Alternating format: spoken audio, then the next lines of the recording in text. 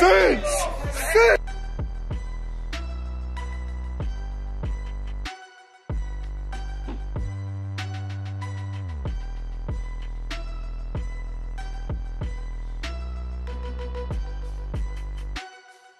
Tell Chuck it. Hey, year you the handcuff.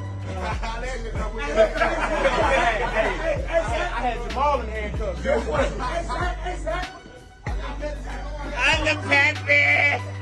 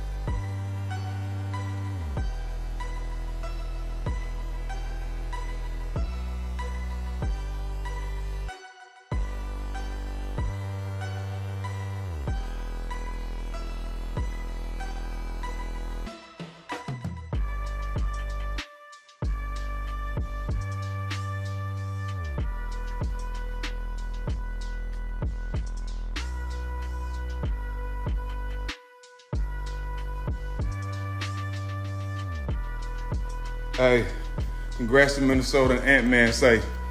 You wonder why all a lot of older guys and everybody loving Anthony Anthony Edwards? You heard what he just said? See, it's a lot of players in the NBA right now that's just one dimensional. They want to score. You know what I'm saying? So they are scorers. They're not basketball players. You have more. You have more uh, guys that do one rebound, a block shot, or you know what I'm saying? They're not. They're not hoopers. They're not basketball players. You have a lot of guys in the NBA that do that do one or two things good, right? And that's just how the NBA is now. You know what I'm saying? But Anthony Edwards is refreshing. Super refreshing, dog. Let me tell you why. Because he plays basketball. Too many of them, too many of them guys out there, well, I only supposed to shoot. I only supposed to rebound. Nah, he defending and scoring, whatever it takes, bro. That's why we love Anthony Edwards, bro. That's why we love Anthony Edwards. Because he's a dog. They let the dog off the leash and he's playing basketball on both ends. Not just one end, man. It's refreshing.